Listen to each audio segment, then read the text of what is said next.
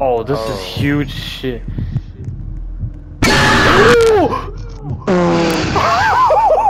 That guy sounds so fucking good.